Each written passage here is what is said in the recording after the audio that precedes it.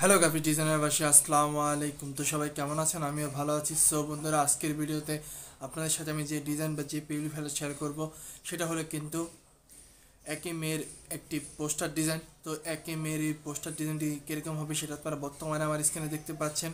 তো এই একই মেয়ের যে পোস্টার ডিজাইন সেই পোস্টার ডিজাইনটি তৈরি করেছি আমরা পিক্সেল ল্যাবের দ্বারা। আপনারা চাইলে কিন্তু পিক্সেল ল্যাবেরটা আমার ডেসক্রিপশন করতে পারেন, অথবা প্লে স্টোর থেকে কিন্তু ডাউনলোড করে নিতে পারেন।